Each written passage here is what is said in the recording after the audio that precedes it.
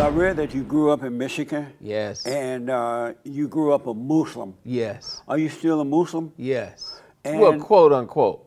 What does that mean? That means that I'm not. I don't like labels of religion because I believe that religion is like man-made um, system of rules, and I believe that the labels that we all have is what's dividing us, and so. I'm going back to the actual meaning of what must the. It's an Arabic word. What does it mean? It means a peaceful person. Were you a Christian before you came a Muslim, or were you always a Muslim? My mother was. A Christian. Yes. And then she met this man because your father left or something, right? My father, yeah. What I Was your- found out later was my biological father uh, was he told me he would he liked to go back and forth to school, which was prison. so he said Oh. I wanted the things that I want. I was young and my mother didn't know either that what happened to him. He kind of just disappeared, you know, and he would. That was he said those was my issues that He was I in and out of I would- prison? he was in and out. Oh. And my mother, she was going from church to church. Right. And so then she was trying to find her own way. She became Muslim before she met um, my father. So I have my biological father now. So, so your mother was a Christian. Yes. She met your biological father. They made you. Was he a Christian? yes. Okay. But he was in and out of jail, so she went looking for something. And, and going to church, she didn't find it. Right. And so she went to a Muslim church. Am I right? She went to, um, she moved into a neighborhood in Highland Park, Michigan. and Right. She started seeing them. So the Yeah. pastor told her, because she said, every time I go to church, I'm like, she's young. She said, I, I'm just not, I don't know what it is. I'm looking for the, I'm looking for something, you know, to touch my spirit. And so then the, the, the pastor told her, said that just keep praying to God for guidance and keep going, just keep going. And so then when she moved over into this neighborhood, she saw all of these Muslims and she was like, I wonder what is it about them? What do they do? Yeah. Right? And um, they was, uh, and they were a lot of black people, and so they had businesses and they had their own school and their own. So she was like, huh, they look like they they they look like they take care of business. So she went to ask questions, and when she did, she she liked it. She said she didn't find it too much different from Christianity, far as um, back then we wasn't using the words morals, but she said all of the the, the, the rules was the same. You Yeah. know, love each other, be kind to each other. She, she was like, oh, I like that. And so then that's when she started hanging and she became a Muslim and started hanging around the Muslims. And I was four and a half, five years old. Yeah, five. I read that. Was your so your father, and mother never married? They didn't marry. Oh, okay. Yes. And then she meet this Muslim man, Yes. And he became your step. She married him, and he became your stepfather. Yes. That's he was a new convert also.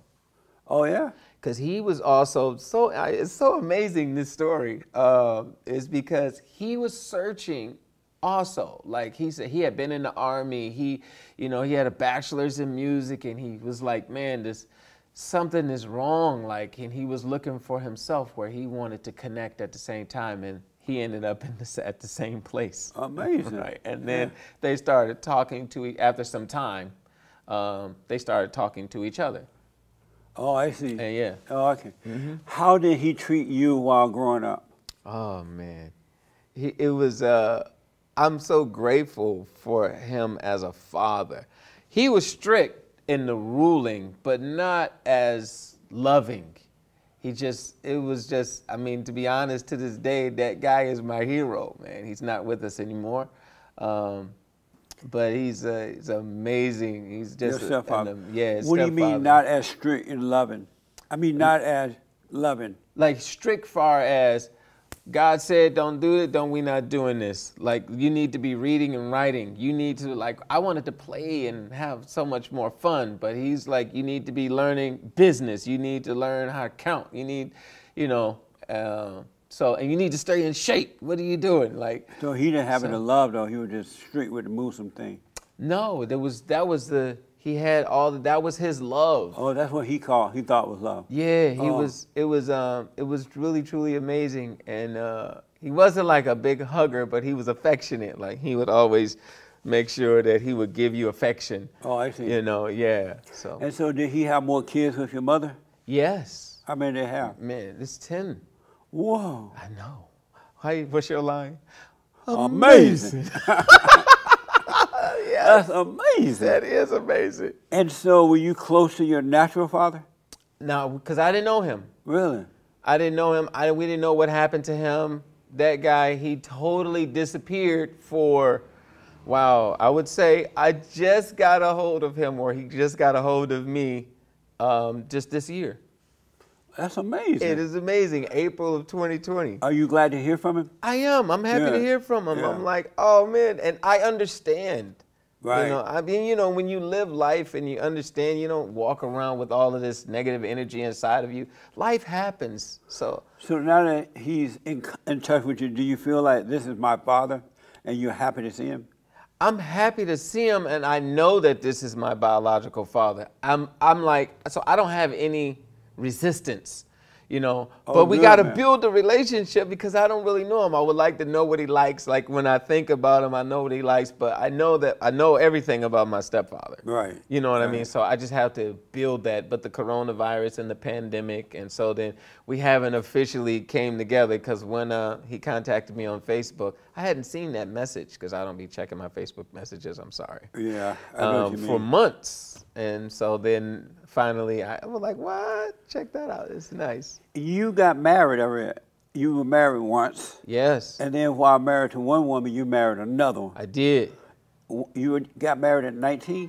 17. Got married at 19 with the first woman, 17 with the first one. and then 19 with the second one. Yes. W- Well, that's because you were a Muslim. That partially. Uh, we, we was the other- blamed it. We we blamed it on being Muslim, You right? so so that we can excuse like what I find that a lot of people do religiously, you know, because we weren't legally married. Um, so like you weren't legally married to either one of the women. right. So Did they both live in the same home with you? no, they So- each had their own homes. Um, each had their own environments. Their own. And did they know you were involved with both of them? Yes. Really? Yes. So you were like go and be with one, and then hey, good night. I'm going to be with Sally. Huh? Yes. Sister I Sally. mean, pre- pretty much. But you weren't legally married to either one. Right. No. Under the Muslim law, were you legally married? Under under legal Muslim law, yes. Oh, I see. Like it's like if you're at the church, the community recognizes that this is your spouse And that you have more than one. And that you have more than one. So then the community is holding you responsible for caring for them if you take on this responsibility. So the the rule is if you want to have more women, you got to make sure that you honor and take care of them mentally, physically, spiritually, emotionally, financially, and uh, and sexually, of course.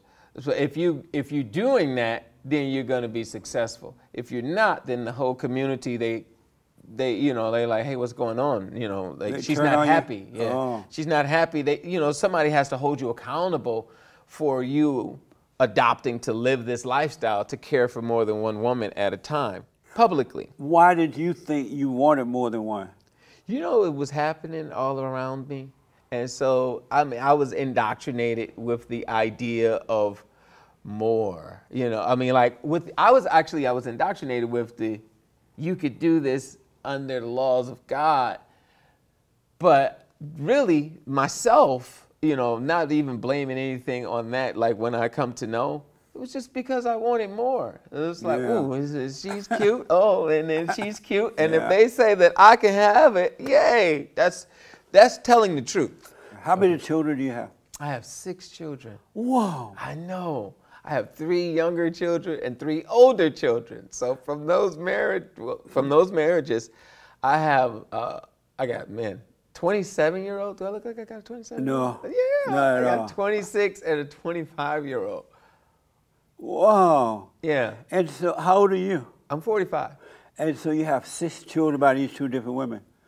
Yeah, well, three by those two different. I, I'm grateful I started over, like in life. So my children now they're four, nine, and twelve. By by a third By, woman. by yeah, so that didn't How many work. wives did you get? That didn't work out. That I was, I, I ran away. like, Jessica, I was like, I woke up one day as I was going after uh, my career, and I was like, man, this is this is I'm not able to do this. I didn't even want to do this. Meaning So- that you can have it, you can. yeah, I didn't know. It was like How many wives did you have at one time? Just two. Just two. Yeah. And you realize you could not handle two at one time? Yeah, it's a lot of responsibility, man. It's like, and people don't. They all. It's not like, far as the the rules behind it is, you really have to be caring and looking and be present. It's not like what the idea that oh he got a girlfriend over there and he got a girlfriend over there. It's not the same.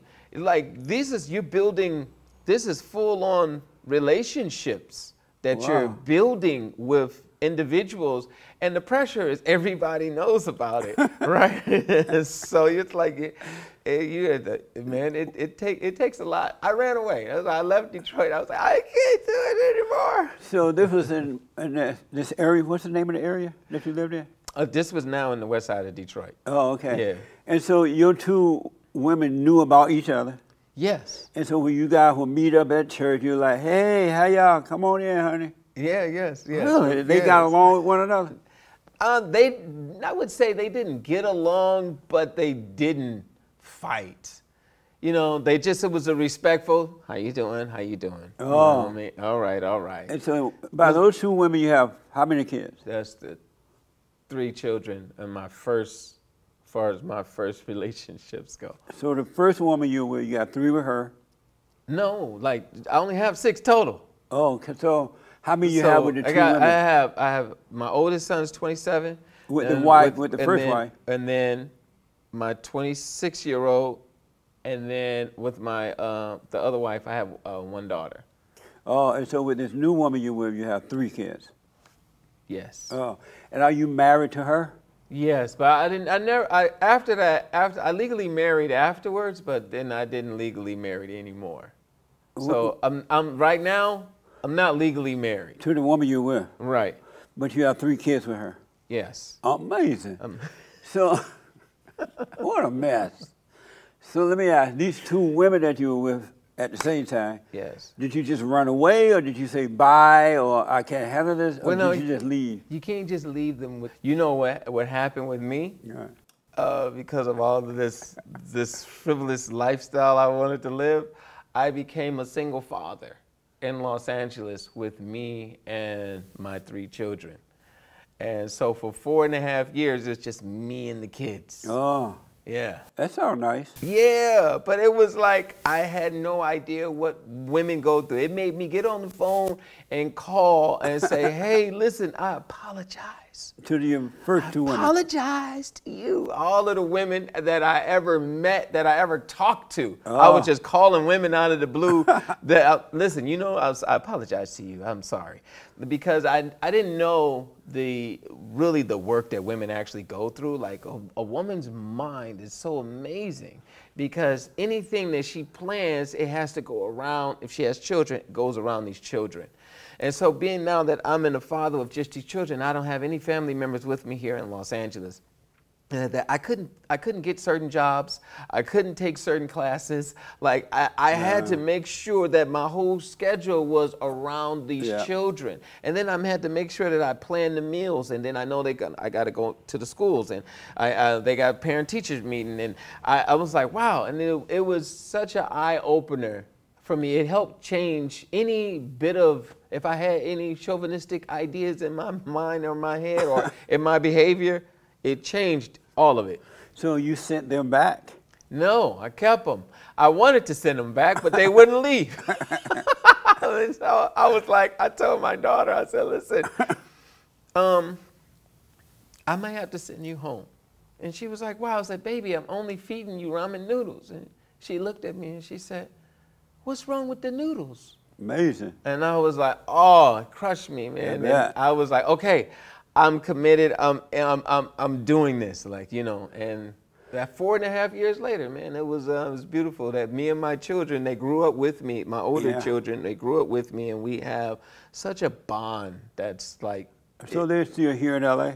yes. Well, one went back to Detroit because he wanted to be with his mom. He missed his mom. He's Wow. 26. Oh, okay. You know. Uh, but yeah. How old is your daughter two- now? My daughter's 25. So let me get something straight. So you here you are Muslim. You have two women. Yes. What you call wives. Right. How did you tell them that I'm leaving? I don't want to do this anymore. Are you trying to do this, Jesse? What? Are you trying? Are you you want to do this? Oh, I'm giving you the blueprint. Okay, let me tell you. So I know, no, I had to. I was like, who you leaving right now, Jesse? Who you trying to leave? No. I said, look, I went to them and was like, look, I'm not, I, I'm not ready. I'm just, I, I can't do this anymore. And they, they both was already was grateful because they were like, we was tired of it anyway. They were tired of it They too? was tired of me because one, I wasn't really, uh, I wasn't a bad husband. I've always been a nice guy, but it was just, you know, things wasn't progressing. Right. You know, and there was a lot of pain involved, and they were making a lot of sacrifice at the same time. So, Were they older or younger than you? younger by a year. Oh, okay. One by a year. And so they were okay with you leaving them. Well, we kind of parted. We were like, because they were like frustrated with me. We were already kind of on the outs. Oh, okay. You know, like my son's mom was like, she was really fed up with it. She left to stay like, I'm out. She moved out, but wasn't technically like splitting from me. It was like a separation. Um, and then she was just growing in, a, in that whole area Oh, with her family. And then the other one, she was trying, she was like, she saw potential in me. She was trying to hold on with me for a while, and I just had to fess up and was like, I just, I just can't do this anymore. So, I we parted, and then sometime I left Detroit.